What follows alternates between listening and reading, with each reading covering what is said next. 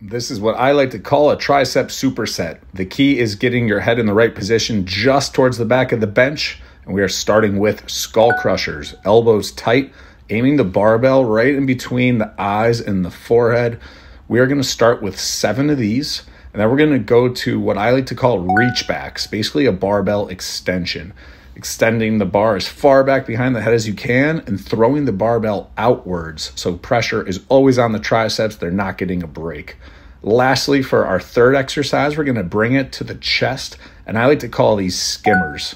Skimmers because they're going just above the nose without breaking the nose of course.